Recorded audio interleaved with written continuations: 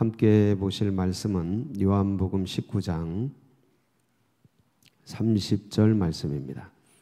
요한복음 19장 30절 말씀 우리 다 같이 합독을 하겠습니다. 시작. 예수께서 심 포도주를 받으신 후에 이르시되 다 이루었다 하시고 머리를 숙이니 영원히 떠나 가시니라. 아멘. 어, 이 뒤에 한마디 더 하시죠. 예, 아버지 내 영혼을 아버지 손에 부탁하나이다 하고 이제 가시는데 그 이제 내일 또 개인적으로 묵상을 하고 어, 다 이루었다. 이게 이제 예수님이 33살 하고 몇 개월 더 사셨는데 음, 어, 이 젊은 청춘이 가장 극심한 고난, 그러니까 인간이 당할 수 있는 가장 큰 고통, 아픔, 비참함, 뭐 어떤 고통 이런 것도 아프겠지만 모든 사람의 비난과 정죄 속에서 인류의 가장 큰 죄를 뒤집어 쓰고 그리고 실제적으로 그 당시에 수많은 사람들이 비난과 정죄를 하고 하는 어, 그 비참함 속에서 가장 극악한 상황 속에서 다 이루었다. 어, 이런 고백을 이런 선언을 선포를 할 수 있다. 다 이루었다. 이게 굉장한 굉장한 선언이 아닐 수가 없습니다. 어떤 인간이 어, 이런 고백을 할 수 있을까? 저도 어떤 끄트머리에 서서 아, 참 한평생이 행복했다. 이런 생각은 들더라고요. 이제 정리를 하고 이제 떠날 준비를 하는데 아, 한평생이 행복했다. 고마웠습니다. 이런 이런 고백은 나오던데 주님 덕분에 여러분들도 그러시죠? 네, 진짜요. 정말 주님 덕분에 행복했습니다. 그런데 다 이루었다는 이게 아예 생각이 안 나요. 왜냐하면 못하고 가는 게 굉장히 많거든요. 어, 주님께서 보내신 뜻, 사명 그런 게 눈에 밟히고 수없이 산재 있고 물론 주님께서 다 하시, 해 주시겠지만, 근데 나에게 맡겨 주신 것들이 눈앞에 보이는데, 두고 가야 되는 거. 아, 여기까지인가 보다 하고 이제 정리는 하지만, 두고 가야 되는 입장에서 다 이뤘다. 이거는 애들도 다 못 키웠는데 뭐. 에? 예? 애들도 졸업을 못 시키고 했는데 다 남에게 맡기고 가야 되는데 다 이뤘다. 아, 이게 참 그게 아예 생각이 안 나더라고요. 근데 주님은 다 이루었다. 33살에. 그러니까 이게 어떤 신적인 우리 신앙 안에서 있는 이 어떤 신적인 요소를 이렇게 빼고 우리가 같은 예수의 영을 갖고 생명을 가지고 살아가는 입장에서 예수님도 나와 같은 그러한 어, 그러한 것을 놓고 보면 아니, 어떻게 그거를 그 젊은 나이에 다 하신 거지? 그러니까 예수님은 뭐에 미친 거예요? 하나님이 주신 사명과 뜻에 미친 거예요. 우리도 똑같잖아요. 예수의 영을 갖고 있고 지금 몸을 갖고 있고 그, 그 주신 사명 가지고 가는데 우리 워낙 다른 거에 유혹이 다른 어떤 인간적 이런 야망에 육에 둘러싸여 있는 이 한계에 주님도 똑같으셨지만 주님은 그걸 이기고 아, 그걸 그길 향해 가셔서 결국은 완성해 내시고 그 얼마나 수많은 유혹들과 많은 어떤 장애물들이 있었습니까? 그걸 뚫고 아 이거 생각하면 소름이 돋아요. 소름이 돋아. 야나 뭐 하나, 어, 나뭐 하나 이런 생각도 들고 아니 똑같은 성정을 주셨고 똑같은 영을 주셨는데 아이고 나 뭐 하나. 그러면서 주님이 이렇게 해 주신 것이 너무 감사하고 고맙고 또 이런 못난 나를 받아주시는 그 은혜가 너무도 크고 할렐루야. 예, 그래서 이 길을 걸어가죠. 자, 그런데 이제 주님께서 다 이루었다. 이게 헬라어로 이제 테텔레스 다 이렇게 하셨잖아요. 이제 뭘 다 이루셨나? 여러분, 요 테텔레스타이라는 것은 그 당시에 그냥 흔하게 쓰던 생활 용어였습니다. 예, 우리도 이제 일을 하다가 뭐 일을 마쳤으면 아, 다 끝냈다. 그리고 노동하시는 일꾼들도 그냥 막 예, 오후 몇 시 되면 아유 심하이 하자. 다 끝냈다. 야, 딱 끝났어. 이런 얘기 쓰지 않습니까? 우리 어, 생활 속에서 그런 용어였어요, 이게. 당시에. 근데 다 끝냈다라는 게 여러 가지 면에서 이제 비추어 볼 수 있는데 형법적으로, 법적으로는 이게 뭐냐면 형벌을 맞췄다. 징역 3년. 이러면 3년을 끝내면 형벌이 다 끝나는 거죠. 예. 일단은 형벌 주어진 게 끝나는 거예요. 그러니까 그거예요. 사형. 사형 이건데 어, 이 어떤 그 형벌을 끝냈다라는 뜻이고요. 법적으로는 경제적으로는요. 진 빚을 다 갚았다. 채무를 변제하였다. 뭐 이제 이런 거예요. 그러니까 신, 심부름꾼이 테텔레스타이 하면 심부름을 다 어, 끝냈다, 행했다 이런 뜻이고 어떤 사명자가 어, 뭐이 이 테텔레스타이 했다면 사명을 다 완수하였다. 이제 이런 의미가 돼요. 이게 종교적으로는 제사장이 재물 같은 거 뭐 비둘기, 양, 염소, 소 이런 걸 재물을 싹 살펴보고 테텔레스타이 하면 흠 없이 흠 없는 재물이다 이런 뜻이에요. 제사를 지내도 된다. 테텔레스타이.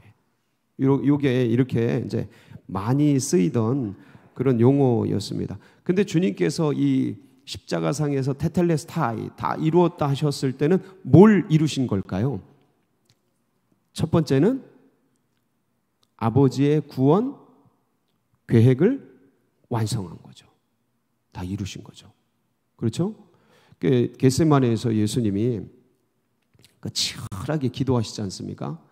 마태복음 26장 39절에 보면 내 뜻과 아버지의 뜻이 막 부딪히는데 한번 보실까요? 시작. 조금 나아가서 얼굴을 땅에 대시고 엎드려 기도하여 이르시되 내 아버지여 만일 할 만하시거든 이 잔을 내게서 지나가게 하옵소서. 그러나 나의 원대로 마시옵고 아버지의 원대로 하옵소서 하시고 자 나의 원 나의 뜻 아버지의 원 아버지의 뜻이 있는 이게 치열하게 부딪히지 않습니까? 우리도 늘 그렇죠. 우리도 근데 여기서 저 기도 세 번을 통해서 탁 아버지의 뜻을 가슴에 품고 십자가로 나가시죠. 자, 근데 여기서 아버지의 뜻이 뭐예요? 네, 아버지의 뜻은 십자가를 지시는 거죠. 예수님. 근데 이게 왜 져야 돼요? 인류 구원을 완성하기 위해서. 그러니까 아버지의 뜻이 저거예요. 아들을 내어주고 인류를 구원하는 거예요. 네. 이게 아버지의 뜻이에요. 그래서 참 저게 그 디모데전서 2장 4절에 보면 그래서 이런 하나님의 마음이 이제 말씀 속에 기록이 되어 있죠. 시작. 하나님은 모든 사람이 구원을 받으며 진리를 아는 데 이르기를 원하시느냐. 하나님은 누가 구원받기를 원하셔요? 나만 구원받기를 원하셔요? 모든 사람. 모든 사람이 구원받기를 원하셔요. 저게 이제 하나님의 뜻이에요. 그러기 위해서 주님께서 이제 그 길을 걸어가셨는데 그러면 어떻게 구원을 받나? 요한복음 6장 40절. 이게 이제 기가 막힌 말씀인데 시작. 내 아버지의 뜻은 아들을 보고 믿는 자마다 영생을 얻는 이것이니 마지막 날에 내가 이를 다시 살리리라 하시니라. 아, 내 아버지의 뜻, 아버지의 뜻이에요. 아들을 보고 어떤 자마다요? 믿는 자마다. 그러기 위해서 이제 십자가를 지고 영생을 얻는 이것이니. 믿을 때 영생 얻는 거예요. 그리고 마지막 날, 인류 마지막 날, 주님이 오시는 그 날에 이를 다시 살리리라. 죽은 몸을 이제 다시 살리게 되는 이 역사. 그래서 아버지의 뜻이 이렇게 아들을 보고 모든 사람이 이제 구원받는. 그래서 이런 이 일들을 이제 계획을 세우셨는데 실제적으로 이 인류가 던져져 있는 그 형국 이 모습은 뭐냐면 인류의 근원적인 죽음의 문제는 뭐로 온 거죠? 죄로 온 거죠. 네. 그러니까 아버지께서 이 아들을 십자가에 내주시고 해결하시려고 하신 것이 뭐예요? 죄 문제예요. 첫 번째는 죄 문제예요. 일단 죄가 해결이 돼야 되니까. 죄의 값은 사망이기 때문에. 예. 죄의 값을 치러야 되기 때문에. 왜요? 레위기 17장 11절에 보면 예. 이게 참 귀중한 말씀이 나오는데 시작 육체 생명은 피에 있습니다. 내가 이 피를 너에게 주어 제단에 뿌려 너희의 생명을 위하여 속죄하게 하였나니 생명이 피에 있으므로 피가 죄를 속한 뭐가 죄를 속해요? 피가 죄를 속하기 때문에 저 피는 어떤 피예요? 죄 없는 피여야 되는 거예요. 그걸 그림자처럼 형상화한 게 모형화한 게 동물 제사예요. 죄 없는 동물에게 인간의 죄를 덮어씌워서 죽여버리는 거죠. 예. 그래서 그 속죄 양이 실제적으로 되신 분이 누구세요? 예수님이시죠. 그래서 성육신 하신 거예요. 뭐 흘리기 위해서요? 영은 피를 흘릴 수가 없잖아요. 예. 그래서 피를 흘리기 위해서 육을 입으신 거예요. 이 과정을 통해서. 왜냐하면 피가 뭘 속해요? 죄가 죄를 속하기 때문에.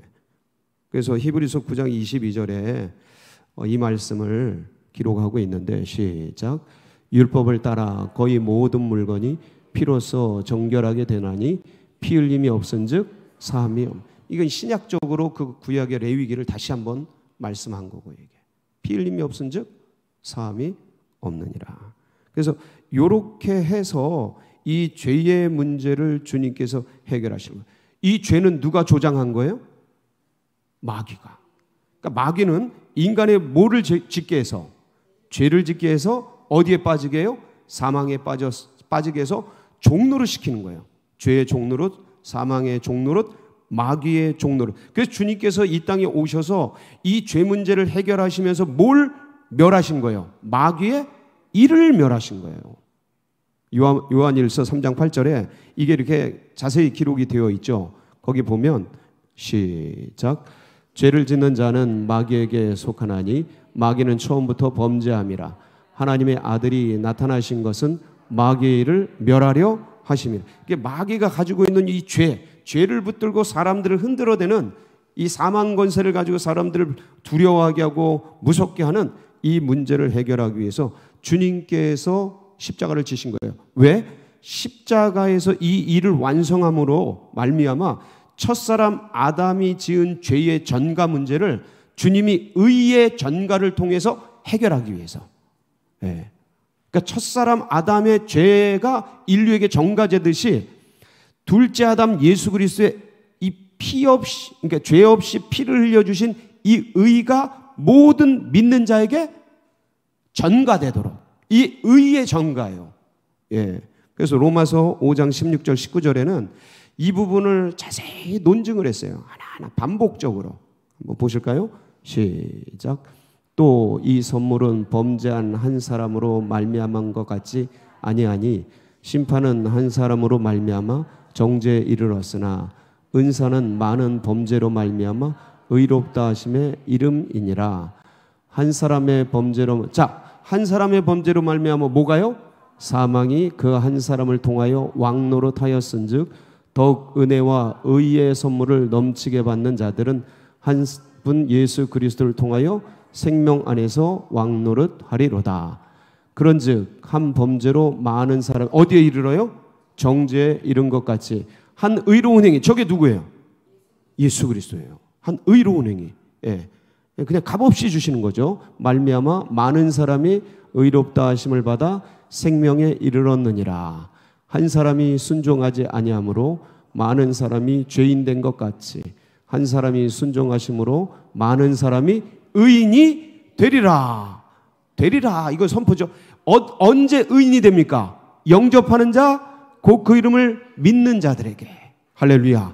예, 진짜 아무것도 안 해도 영접했을, 우리가 아무것도 안, 안 해도 아담의 죄가 흘러와서 죄인이 되는 것 같이. 원죄잖아요. 예? 아무것도 안 해도 영접만 하면 그리스도 예수께서 십자가상에서 이루어 놓으신 그 의가 우리에게 전가가 돼요. 할렐루야. 아, 그래서 죽은 영이 어떻게 돼요? 예, 살아나게 되는 거죠. 예, 이로 말미암아 죽은 영이 살아나게 되는 거예요. 아, 주님께서 이 기적 같은 일들을 이루어 놓으셨고 그래서 로마서 8장 10절 11절에 보면 이 말씀을 하나하나 이렇게 규명을 해 놨습니다. 시, 잘 보세요. 시작.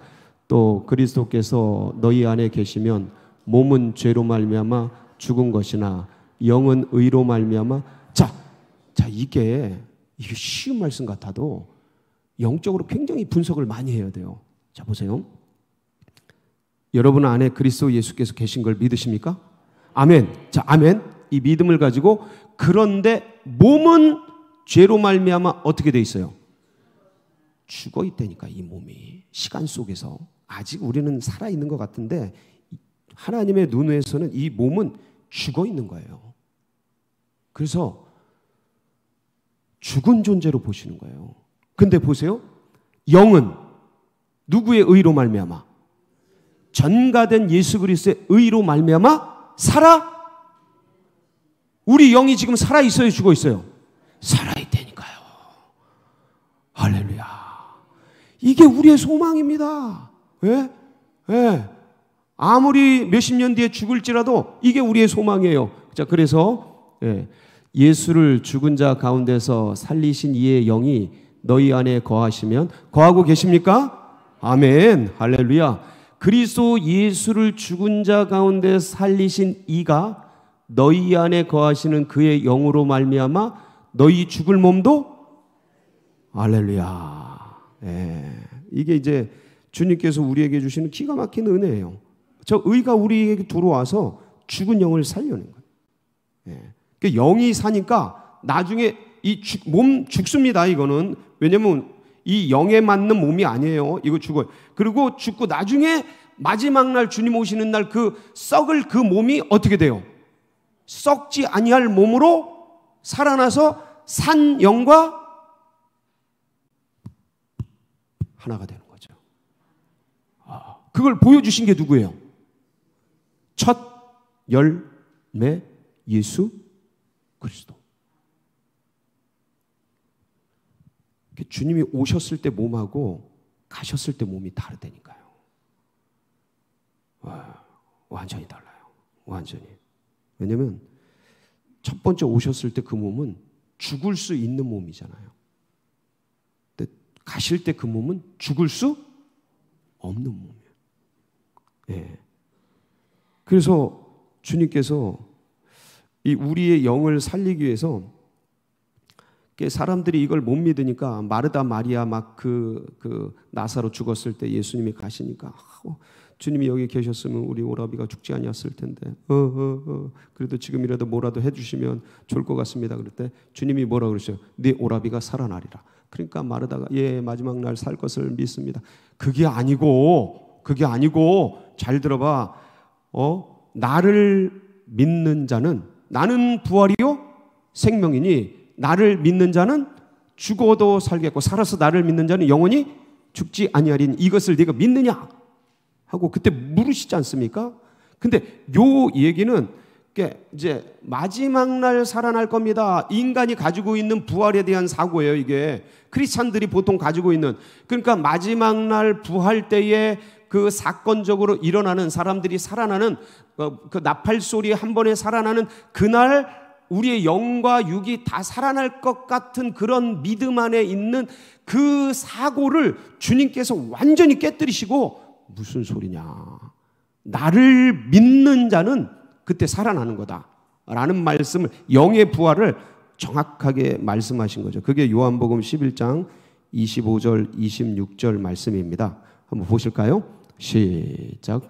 예수께서 이르시되 나는 부활이요 생명이니 나를 믿는 자는 죽어도 살겠고 무릇 살아서 나를 믿는 자는 영원히 죽지 아니하리니 이것을 네가 믿느냐. 이 말씀의 핵심은 뭐냐면 저 앞절 25절 보면 나를 믿는 자는 나를 믿는 자는 저게 죽어도 살겠고가 뭐냐면 죽어 있어도 뭐가 영이 죽어 있어도 어떻게 되고 살아는 영접하는 자 곧 그 이름을 믿는 자는 믿을 때 하나님의 아들을 아들의 음성을 들은 듣는 자는 살아나리니 사망에서 생명으로 옮길 것이다.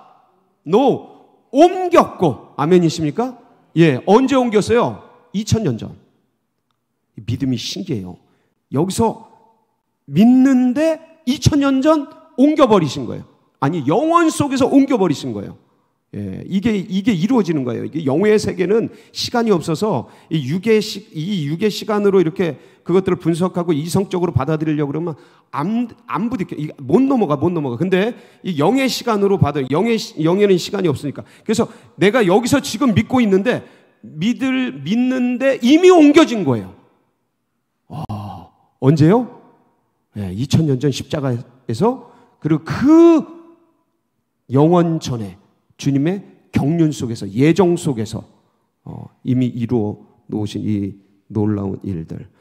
그래서 주님께서 이 모든 일들을 다 이루셨고 그러면 이제 몸의 부활은 언제 일어나요?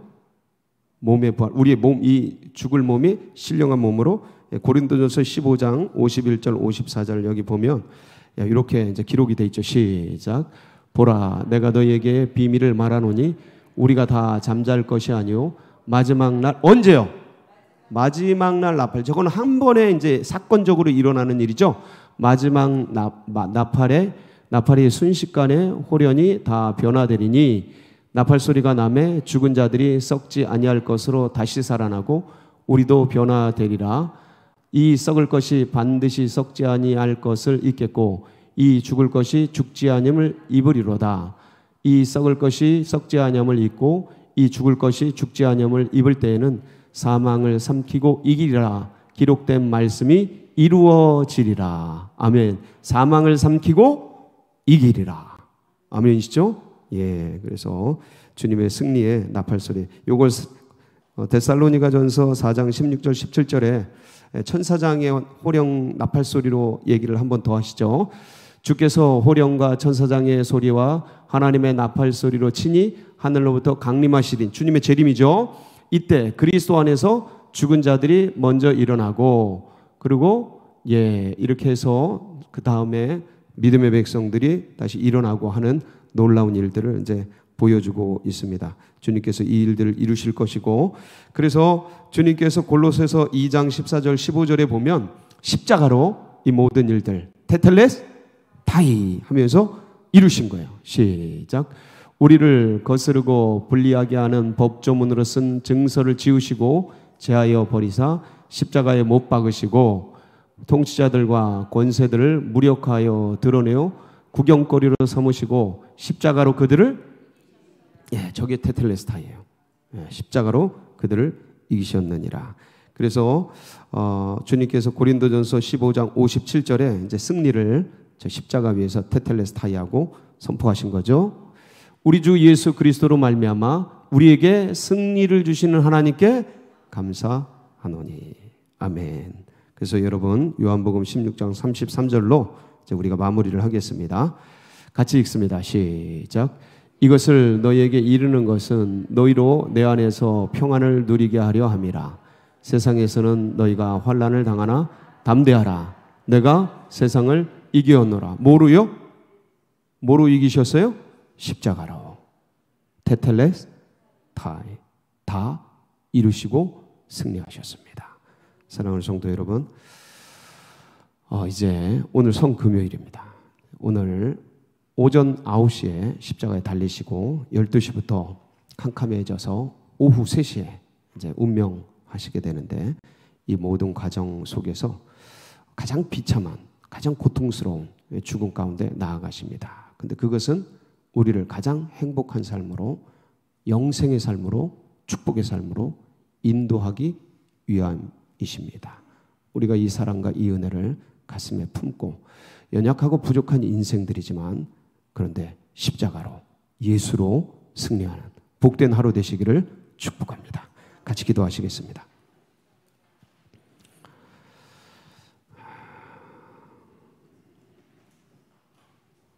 참 부족하고 예, 연약하고 실수 많은 인생들 구원받고서도 참 많은 넘어지고 쓰러지는 우리들 그럼에도 불구하고 이렇게 완전하게 다 이루어 놓으신 주님 때문에 이, 이 인생의 길을 행복하게 은혜롭게 걸어갑니다. 너무 감사하고 그 감사와 또 고통당한 여전히 고통당하는 환우들 또 고난당하는 성도님들 위해서 우리 서울제일교회 나아가는 앞길 그리고 둔촌동의 새 역사 여러분 각자의 기도 제목 붙들고 우리 주여 다 같이 부르짖고 기도하며 나갑니다. 부르짖습니다. 주여